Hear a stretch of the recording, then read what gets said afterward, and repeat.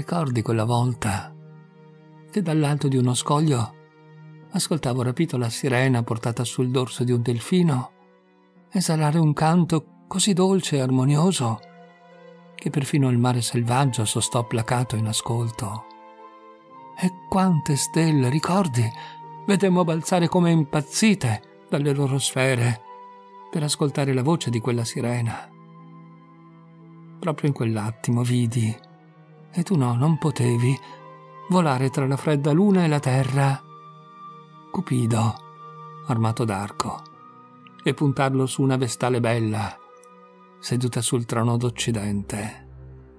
Egli liberò dall'arco la sua freccia d'amore, con tale impeto che parve volesse trafiggere con quella centinaia di migliaia di cuori.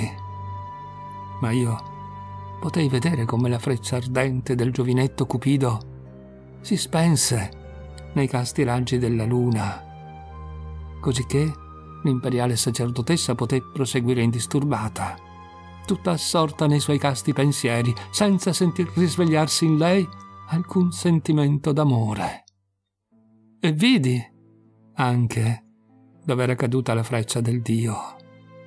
Era caduta sopra un fiorellino che da bianco latte si tinse a un tratto per quella ferita d'amore di color sangue vivo.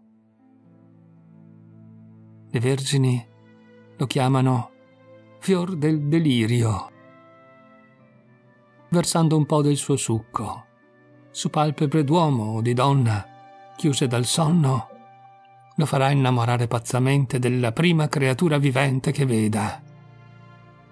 Va, Puck, portami quel fiore e torna qui nello spazio di tempo che la balena impiega per percorrere un miglio a nuoto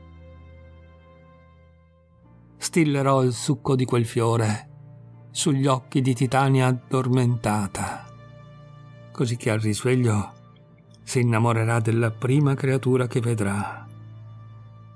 E spero che sia la più ripugnante di tutta la foresta.